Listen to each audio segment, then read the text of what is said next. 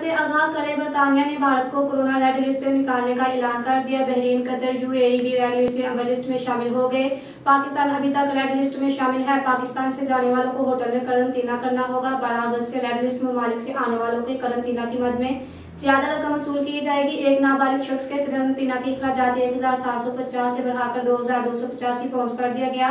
बालिग शख्स के लिए एक हज़ार चार सौ तीस पाउंड कर दिया गया है। एंबुलेंस में शामिल मुल्क में वैक्सीन शुदा अपराध को बरतानिया आने पर करंतना नहीं करना पड़ेगा। मजीद अपडेट के लिए देखते रहें के एन ए न्यूज़ लाइव